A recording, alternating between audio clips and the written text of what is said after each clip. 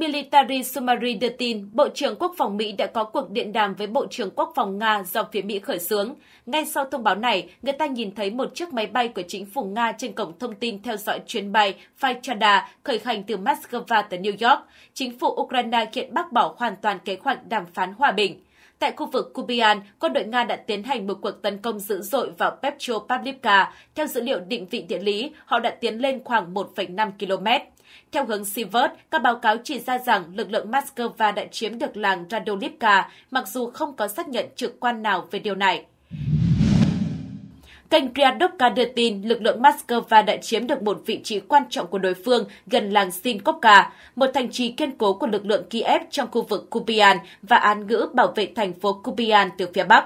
Cụ thể, trên mặt trận Kupian, quân Nga tiếp tục bao vây Sten Makovka nằm ở phía nam thành phố. Để tạo điều kiện thuận lợi cho mũi tấn công chủ yếu, lực lượng Moscow đã phát động cuộc đột kích vào Khúc, một vị trí quan trọng nằm ở phía đông Sinkovka. Lực lượng Kiev đã biến khu vực xung quanh ngôi làng thành một hệ thống công sự hỗ trợ lẫn nhau bằng hỏa lực. Bản thân Sinkovka đã trở thành tuyến yểm trợ chính cho Kubian từ phía Bắc. Trong một cuộc tấn công mãnh liệt, nhóm lực lượng Kiev tại Khúc đã thất thủ. Việc kiểm soát vị trí này theo thời gian sẽ không chỉ cho phép Nga tiếp cận sườn và phía sau của đối phương ở Sinkovka mà còn có thể tiến về phía Petropavlovka. Tuy nhiên, điều quan trọng nhất là bằng cách chiếm giữ khúc, lực lượng Moscow đã tạo ra một tình thế căng thẳng cho đối phương. Do một phần lực lượng bị bao vây, Kiev sẽ không thể chuyển sang các khu vực khác được nữa. Kênh Riba cho biết trong ngày qua, quân đội Nga tấn công vào các cơ sở của đối phương ở Kharkov, Bengoros, Donetsk, Odessa và Nikolaev. Ngược lại, lực lượng Kiev tiếp tục pháo kích vào khu vực biên giới Nga và cố gắng tấn công các mục tiêu quân sự của đối phương ở vùng Smolensk bằng UAV. Tại khu vực Kupian Svatovo, quân Nga đang tiến về Petropavlovka từ Osana, đồng thời cũng đã mở rộng vùng kiểm soát các hướng tiếp cận Stenmakovka. Ở Avdiivka, quân Nga đã đẩy lùi một đợt phản công của đối phương tại khu vực Radnoprodovka và đang tiến hành các trận chiến ác liệt tại khu vực Sokon và Novoporovskoye.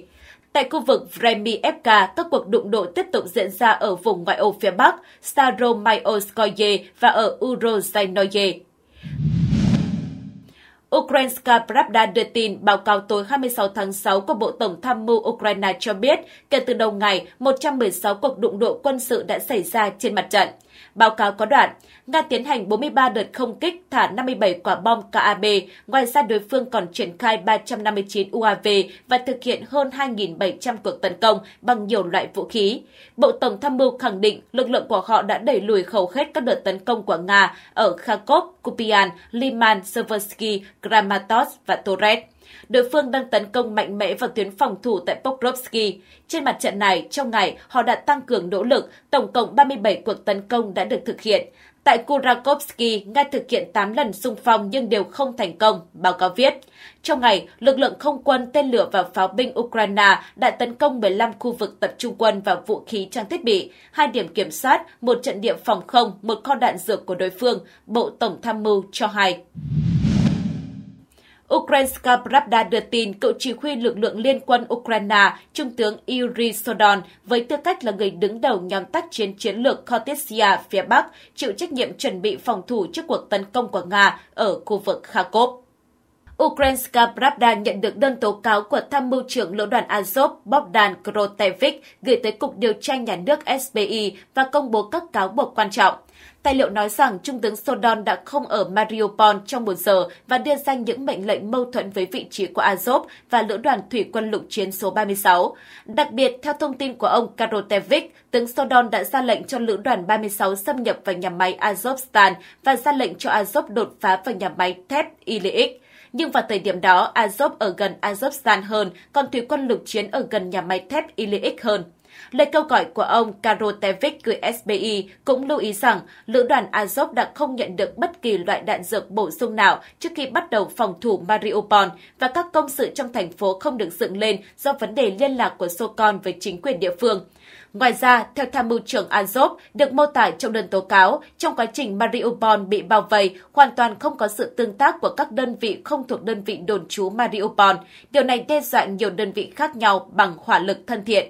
ông Karotevich tố cáo, Trung tướng lãnh đạo quân đội một cách không thỏa đáng và các quyết định của ông ta đã dẫn đến cái chết của hàng nghìn quân nhân thuộc lực lượng vũ trang Ukraine, lực lượng vệ binh quốc gia và các đơn vị khác của lực lượng phòng vệ. Ông Sodon, với tư cách là chỉ huy nhóm lực lượng Kortesia chịu trách nhiệm chuẩn bị phòng thủ trước cuộc tấn công thứ hai của Nga vào khu vực Kharkov, nhưng sau khi bổ nhiệm làm tư lệnh, viên tướng này bắt đầu đưa ra những mệnh lệnh khó hiểu cho lữ đoàn 12 để chiếm các vùng đất thấp, cũng như tiến quân một cự ly tối thiểu trong thời gian ngắn mà không đủ đạn dược. Đồng thời, một người đối thoại cấp cao của Ukrainska Pravda trong lực lượng phòng vệ khẳng định tướng Sokon trên cương vị chỉ huy lực lượng liên quân đã được cả Tổng tư lệnh Alexander Sisky và toàn thể Bộ Tổng tham mưu ủng hộ.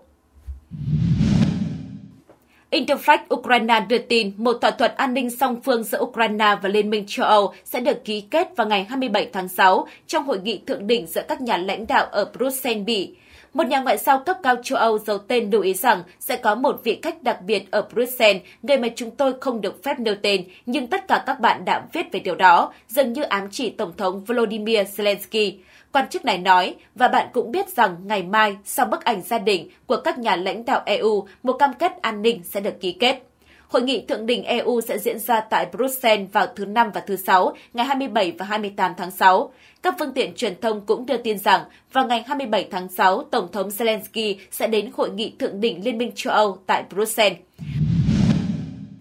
Kiev Independent đưa tin Tổng cục Tình báo Quân sự Ukraine GRU ngày 26 tháng 6 cho biết một vệ tinh được mua thông qua chiến dịch gây quỹ cộng đồng của Ukraine đã chụp được 4.173 hình ảnh về các mục tiêu của Nga trong gần 2 năm. Theo GRU, khoảng 38% tổng dữ liệu được sử dụng để chuẩn bị cho các cuộc tấn công gây thiệt hại hàng tỷ đô la Mỹ cho Nga. Nhờ vệ tinh ICE-IE, Ukraine đã thu được hình ảnh vệ tinh của 370 sân bay Nga, 238 vị trí trinh sát vô tuyến và phòng không, 153 kho dầu và cơ sở lưu trữ nhiên liệu, 147 kho tên lửa, vũ khí máy bay và đạn dược cùng 17 căn cứ hải quân. Vệ tinh này cũng có thể theo dõi các điểm triển khai thường trực của quân đội Nga, các doanh trại và trung tâm động viên của họ, cũng như giám sát tổ hợp công nghiệp quân sự và hậu cần của nước này, bao gồm cả cầu Crimea. Tình báo Ukraine cho biết điều này có thể giúp theo dõi động thái của các hoạt động Nga với nhân viên của nước này, bóc trần các ý định quân sự của nước này nhằm ngăn chặn chúng. Ngoài ra, ICEIE có thể xác định chính xác các loại máy bay chiến đấu, tàu và hệ thống phòng không được phát hiện, cũng như ghi lại mức độ thiệt hại đối với các cơ sở bị ảnh hưởng, theo GUR. Sohii Pritula, một diễn viên hài chính trị gia và tình nguyện viên dẫn đầu các chiến dịch gây quỹ cộng đồng để giúp đỡ quân đội Ukraine, đã thông báo vào ngày 18 tháng 8 năm 2023 rằng tổ chức từ thiện của ông đã mua một vệ tinh cho quân đội. Quỹ từ thiện Sei Britula đã ký thỏa thuận với công ty ICEIE của Phần Lan sau khi gây quỹ ban đầu 17 triệu đô la Mỹ để mua UAV tấn công Bayraktar nhà sản xuất máy bay không người lái của Thổ Nhĩ Kỳ đã từ chối nhận tiền và thay vào đó cung cấp miễn phí 3 chiếc UAV cho Ukraine. Hợp đồng với ICEIE nêu rõ công ty sẽ chuyển giao khả năng của một trong những vệ tinh đã đi vào quỹ đạo của chính phủ Ukraine. Cho đến khi mua vệ tinh ICEIE, Ukraine không có vệ tinh riêng trên quỹ đạo và do đó phải dựa vào hình ảnh vệ tinh từ các đồng minh trong 6 tháng đầu tiên của cuộc xung đột với Nga.